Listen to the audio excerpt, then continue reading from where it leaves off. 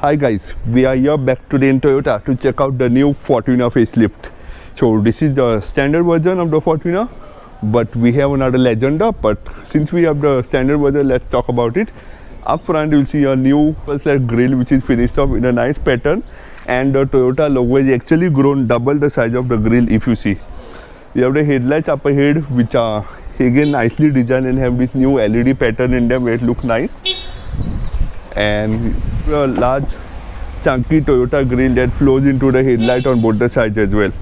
Coming lower down, you have a muscular new bumper with a rather small fog light finished in LED and has this nice black honeycomb pattern that looks nice. Bit of chrome over here would have looked nice.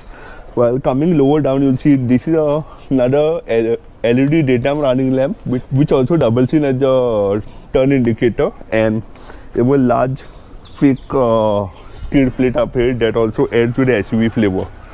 Otherwise the face is the same, you have the bonnet which is again the same, it has a bit of muscular horns up ahead but that's again the same as the earlier car. Coming to the side you see the new 265 by 60 R18 alloy wheels wrapped in Bridgestone tires. The alloy wheels look nice and have a nice pattern in them and are finished off in nice and silver they look great. A lot of body cladding and a side step over here to help you get into the car but otherwise on the side the car is more or less the same. While if you come at the rear you'll see this new led tail lamp that have a 3d effect and look inspired from the lexus. Otherwise the car is still the same. Power tailgate that opens with a touch of a button.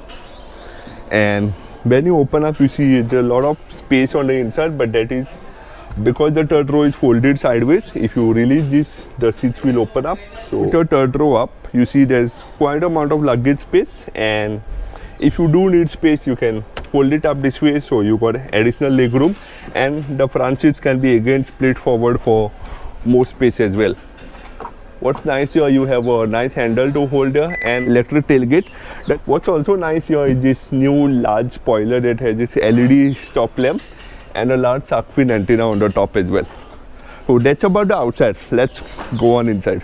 Talking about the interior of the Fortuner, nothing much has changed. You have the same setup which is with a large touchscreen up ahead, the uh, AC and your center panel.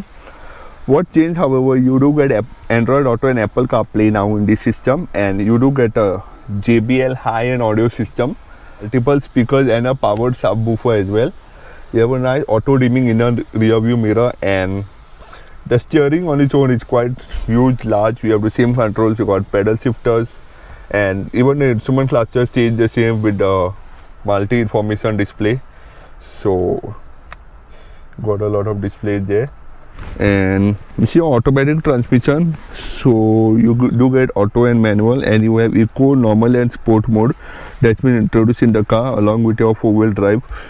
Toyota has also updated the four-wheel drive so off-roading it's quite good quite useful. You have twin glove boxes which open at a touch of a button one year and one year so good amount of storage spaces. Otherwise your seats are good. They're powered seats so you can move them with a touch of a button. The door pockets however do intrude when you're moving the seats but otherwise it's good enough. You have a nice storage space over here which is deep but no USB sockets up there. And that's about the front. Let's go check out the back.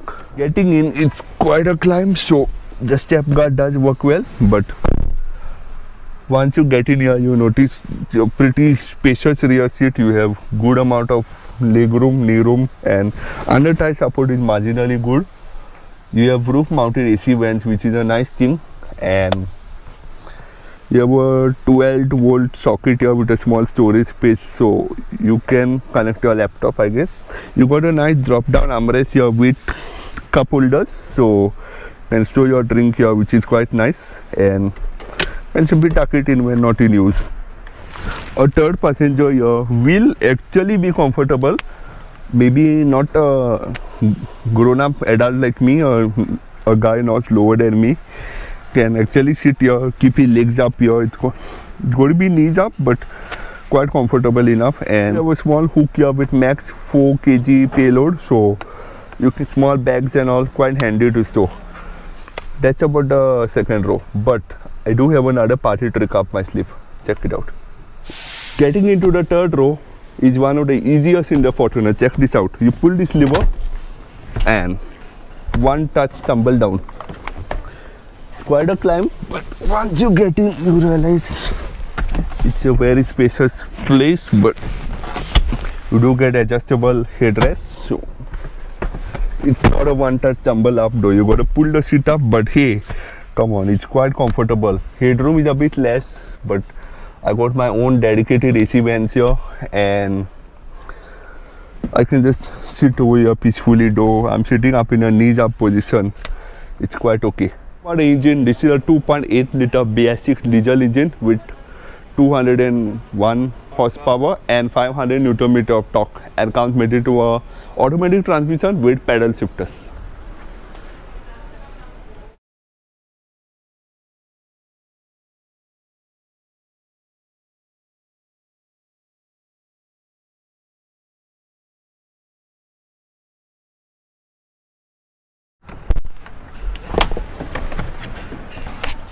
a climb down from the high Fortuner and time to end this video. So that was a quick look at the new Fortuner facelift in the standard top end form and the Legender will come in soon so we'll try and pack in that as well. This is Hercules Rodriguez signing off for AutoGoa.